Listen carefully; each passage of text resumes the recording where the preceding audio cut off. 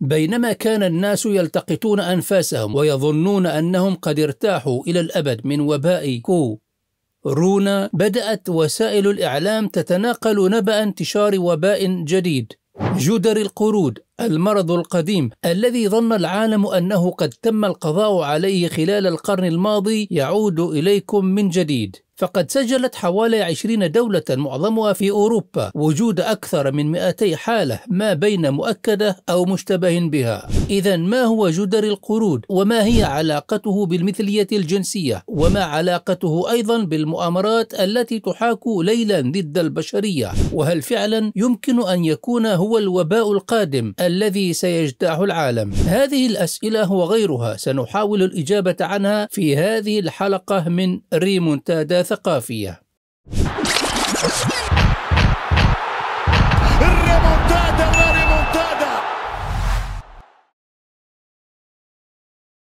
جدر القرود مرض فيروسي نادر وهو في الأصل ينتقل من الحيوان إلى الإنسان ومع أنه كان قد تم القضاء عليه عام 1980 فإن جدر القرود لا يزال يظهر بشكل متفرق في بعض أجزاء أفريقيا. وقد اكتشف لأول مرة بين البشر في عام 1970 بجمهورية الكونغو الديمقراطية لدى صبي عمره تسع سنوات.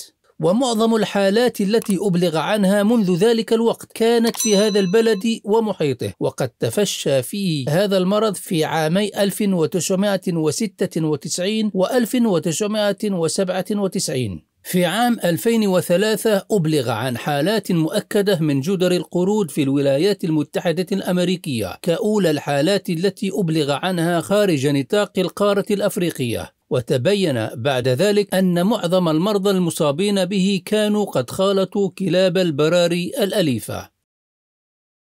يعاني معظم المرضى من الحمى وآلام الجسم والقشعريرة والتعب وقد يتطور فيظهر على شكل طفح جلدي وبثور على الوجه واليدين. يمكن أن تنتشر إلى أجزاء أخرى من الجسم. لا ينتشر جدر القرود بين البشر بسهولة ويتطلب اتصالا وثيقا ويعتقد أن انتقاله من إنسان إلى آخر يحدث بشكل أساس من خلال قطرات تنفسية كبيرة ولكن يمكن كذلك عن طريق الاتصال الوثيق مع الأشخاص المصابين وتبادل السوائل التي تفرزها أجسامهم وعن طريق الملابس والاحتكاك بملاءات السرير والمناشف. والجدير بالذكر أن معظم الحالات الأولية المكتشفة للمرض كانت بين الرجال الذين مارسوا الجنس مع رجال آخرين. هنا نطرح التساؤل المشروع. ما العلاقة بين جدر القرود والمثلية الجنسية؟ ينبع هذا التساؤل من كون انتشار هذا المرض بين الناس بصورة واضحة أتى بعد انتهاء مهرجان ضخم للمثليين أقيم في جزر الكناري التابعة للسيطرة الإسبانية. هذا المهرجان المسمى ماسبالوماس برايد حضره ثمانون ألف شخص من بريطانيا وجميع أنحاء أوروبا والولايات المتحدة. ويعتقد أنه بعد عودة المشاركين في المهرجان إلى بلدانهم قاموا بنقل المرض ونشره بين الناس وهذه الفرضية التي يجري التحقيق فيها حاليا. ونفس الشكوك تحوم حول مهرجان آخر أقيم في بلجيكا يدعى فخر المثليين.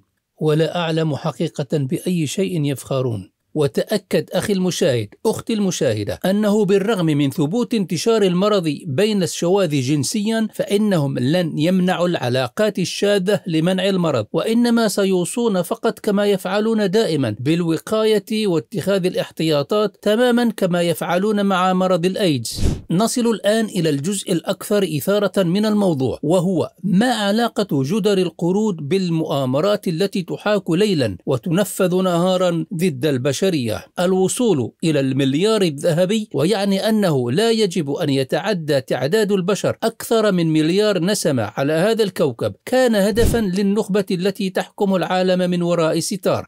لاحظ كيف يزينون الشر ويعطونه تسميات براقة. مع أن مضمونها كله خراب لأن معنى أن يكون هناك مليار ذهبي فإن باقي المليارات من البشر ينتظرها فناء دموي سواء بواسطة الحروب أو الأمراض أو المجاعات وأكثر ذلك مدبر. يعزز هذه الفرضية الاتهامات التي ألقتها روسيا على الولايات المتحدة بنشر جدر القرود حول العالم. مطالبة بالتحقيق في عمل مختبرات بيولوجية تابعة لواشنطن من بينها مختبرات في أوكرانيا وأخرى توجد في نيجيريا حيث نشأت سلالة جدر القرود المنتشرة حاليا. قد يقول قائل إن هذه الاتهامات داخلة في الحرب الإعلامية ما دامت هناك حرب تحدث في الميدان وكل دولة تريد تلطيخ سمعة الدولة المعادية لكن لا دخان دون نار والجدير بالذكر أن الأمراض والفيروسات حتى وإن تم القضاء عليها تبقى عينات منها محفوظة في المختبرات. وما أدراك إذا أحبوا أن يطلقوها على الناس فمن يمنعهم إن لم يكن هناك وازع من دين أو ضمير إنساني؟ وقد كان بيل جيتس قد حذر في عام 2015 من أن العالم غير مستعد لمواجهة الوباء القادم ومع انتشار جائحة فيروس كورونا في مطلع 2020 بدأ الناس يفهمون ما كان يقصده. وفي نوفمبر 2021 حذر مما أسماه لعبة الجراثيم وتساءل ماذا لو حدث هجوم إرهابي بيولوجي بالجدري على عشر مطارات؟ كيف سيواجه العالم ذلك. لاحظ كيف أعطى تسمية الفيروس والمرض بالتدقيق. كيف بوسع بيل جيتس أن يتنبأ بمثل هذه الأمور؟ هو طبعا لا يأتيه الوحي من السماء. إذا الأقرب إلى المنطق هو إما أن يكون متورطا فيما يجري أو لديه أنباء من مراكز القرار التي تخطط لما يجري. وهو كما نعلم منتفع من هذه المصائب لأنه يعتبر من أكبر المستثمرين في شركات الأدوية الكبرى وخاصة في اللقاحات.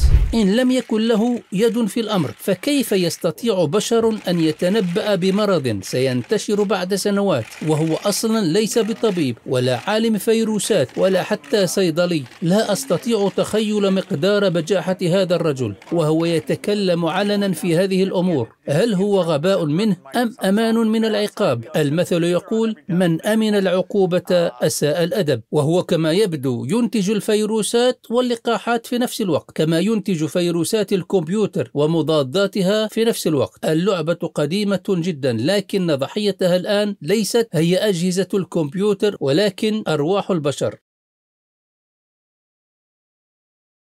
رغم تطمينات منظمة الصحة العالمية فإن علينا أن نبقى حذرين. أولا لأن الكوفيد لم يكن يظن أحد منا أنه سينتشر في العالم بالسرعة التي رأينا ثانيا تحذيرات بيل جيتس ليست بريئة. ليس لأنه يعلم الغيب ولكن لأنه كما قلت ربما يعلم بالمخططات. ثالثا وهذا مجرد تساؤل لكنه ليس بريئا. هل سارعت الكثير من الحكومات في العالم لإيقاف العمل بقانون الطوارئ الصحية ورفع القيود والإجراءات الاحترازية التي كان معمولا بها في أزمة كو رونا لعلمهم بقدوم جائحة أخرى كي لا تستمر حالة الطوارئ خلال جائحتين متتاليتين دون انقطاع.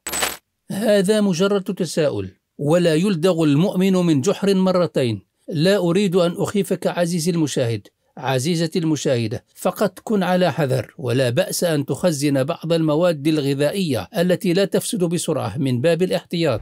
فاللهم إني أعوذ بك من البرص والجنون والجذام وسيء الأسقام ولا تنسوا الإعجاب بهذه الحلقة والاشتراك في القناة والضغط على زر الجرس كي لا تفوتك أي حلقة نقوم بنشرها. وإلى ريمونتادا قادمة بحول الله والسلام عليكم.